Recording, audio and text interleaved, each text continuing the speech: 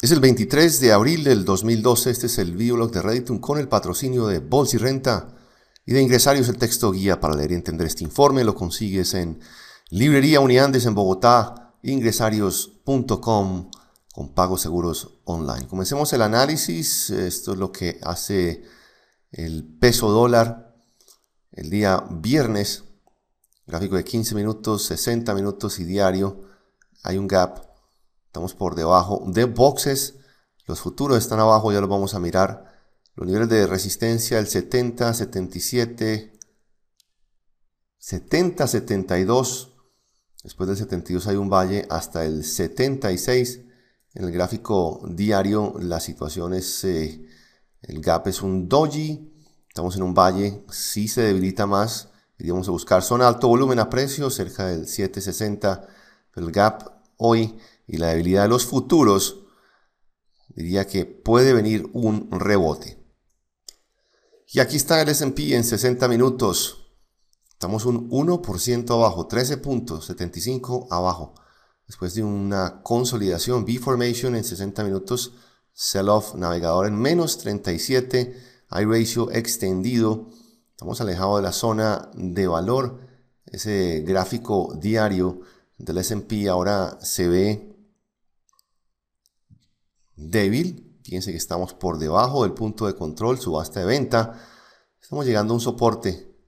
Este nivel es soporte, la parte inferior del box el 57. Aquí debería el mercado encontrar algo de demanda.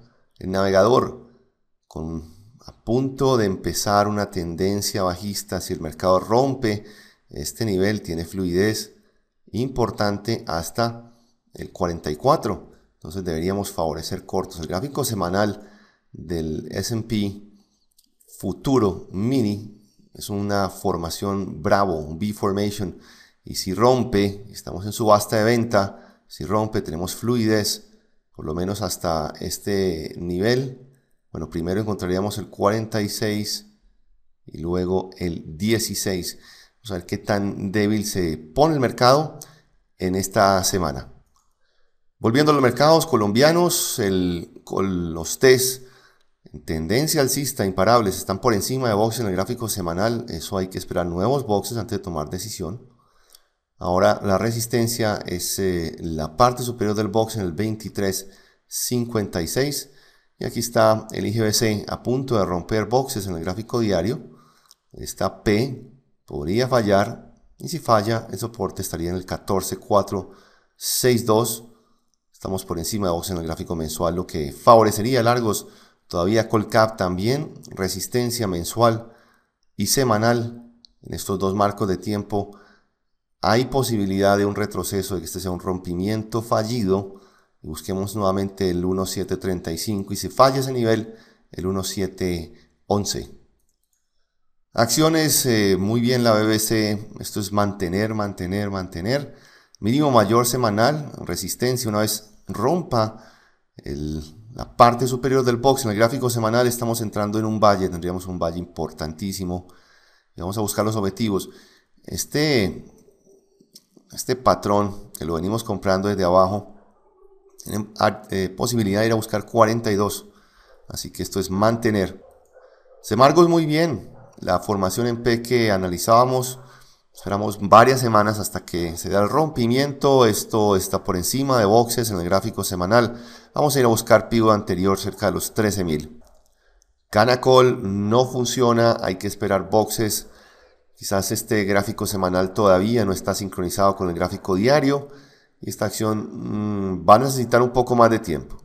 La que sí arranca y nos sigue gustando mucho es eh, la anterior con inversiones. Hoy Celsia que visita punto de control mensual y buscaría los 5.290 pesos. Esto tiene potencial alcista importante. Igual con concreto en una P-Formation en el gráfico semanal con posibilidad también de continuar una vela fuerte. Esto es una P mensual y tiene posibilidad de mantener el sesgo alcista.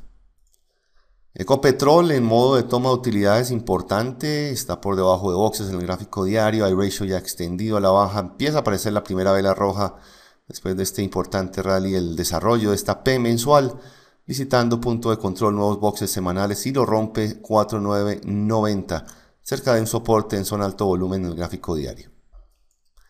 La acción de TV gapea encima de boxes en un valle y ahora potente vela de rango amplio con volumen. Esto es un inicio de movimiento.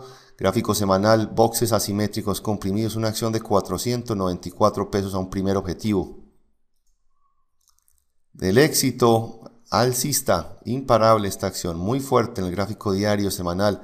Usted está aquí largo, espere nuevos boxes, rompe máximos muy fuerte.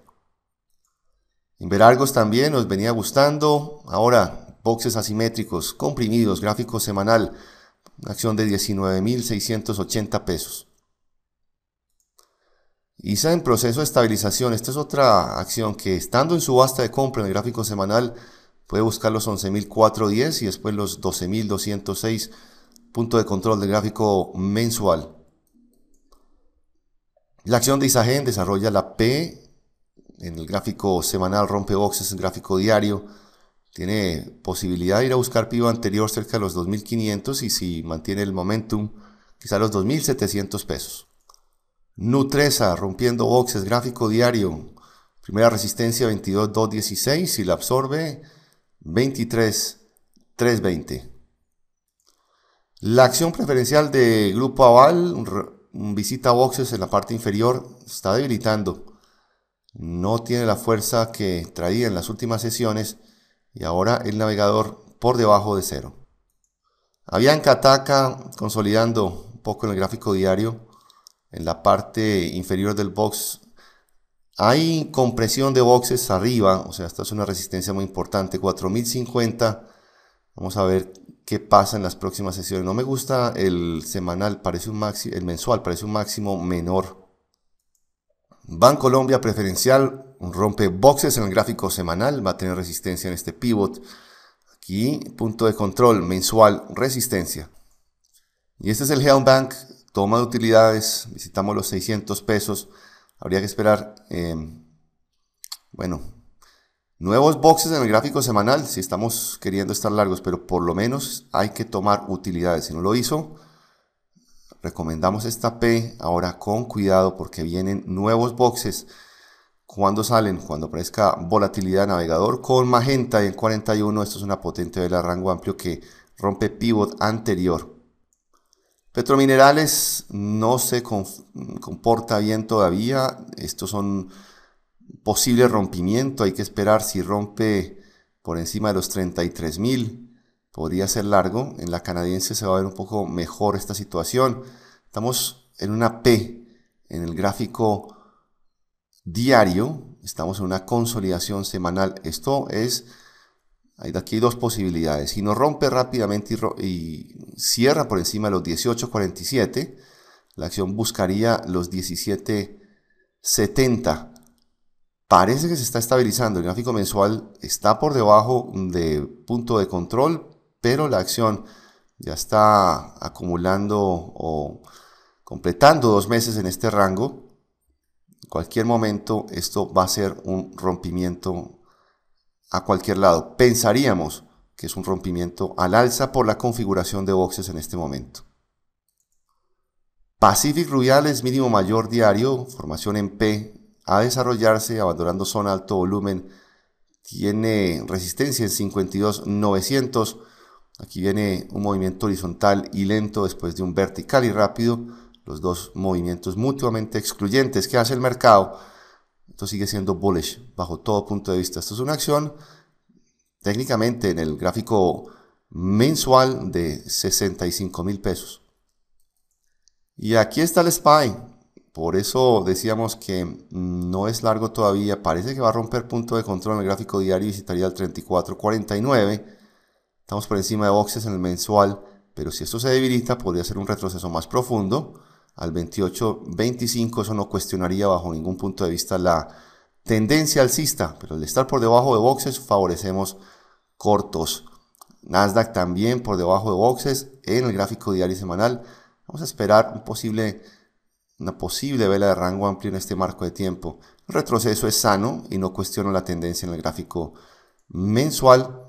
Y este es el Dow, que también, no obstante estar, haber hecho un rebote importante, está por debajo del punto de control. Aquí favoreceríamos también el lado corto. Y eso es lo que teníamos para hoy. Recuerden ingresar es el texto guía para leer y entender este informe. Lo consiguen en Uniandes, Librería, Bogotá y en ingresarios.com. Con el patrocinio de Bolsa y Renta, yo soy Juan Villegas. Muchas gracias y nos vemos mañana.